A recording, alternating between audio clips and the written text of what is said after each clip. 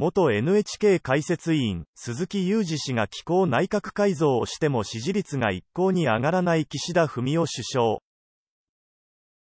来週前半にも物価高に対応するための新たな経済対策を打ち出すことをアピールするなど支持率不要に躍起になっているが、その言葉が国民からそっぽを向かれていることが如実にわかるデータが NHK、おはよう日本の視聴率から浮かび上がった。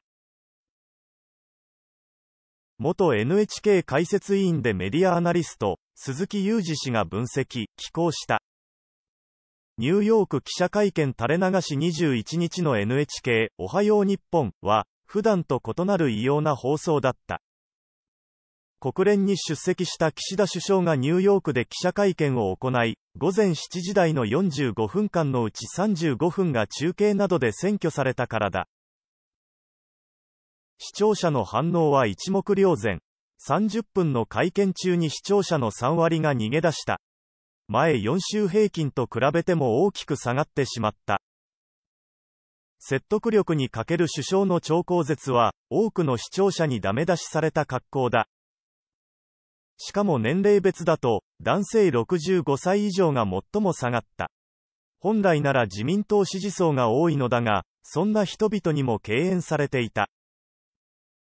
本来朝7時台は出かける前のバタバタした時間帯だ。重要なニュースをコンパクトに伝えてこそ、ながら視聴する人々には便利な放送となる。ところが集中して聞いても、何が言いたいのか伝わらない会見を長々とやられては、見ていられないのは普通の感覚だ。視聴率急落もむべなるカナダ。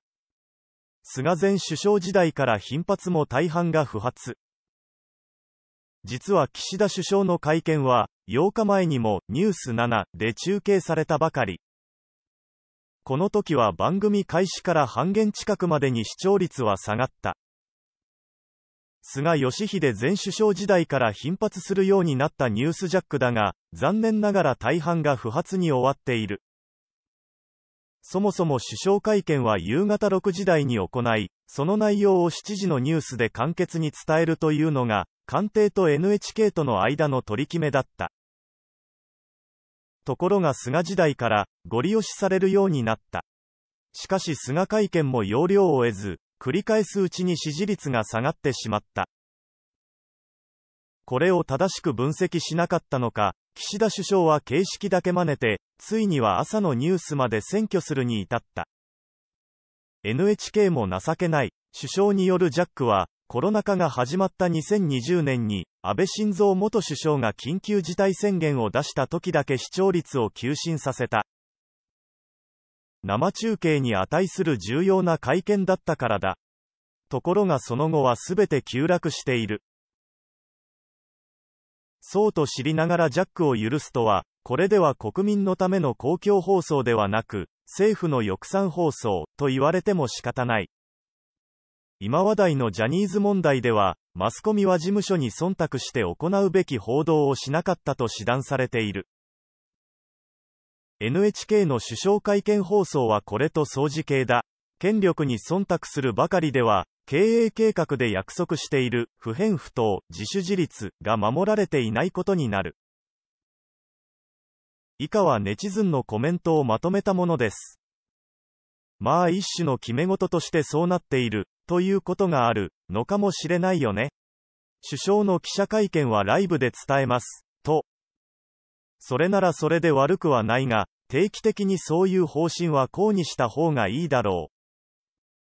公共放送、だからそうなんですよ、で全く通じないわけでもあるまい。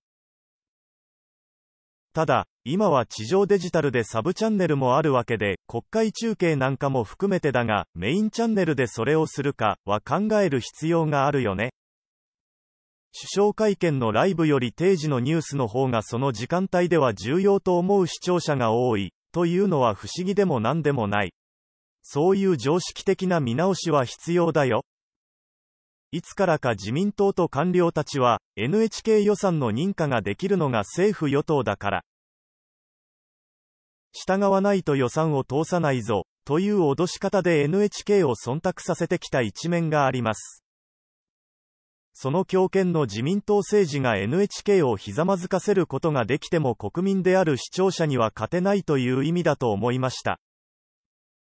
説得力のある分析記事に感謝しています。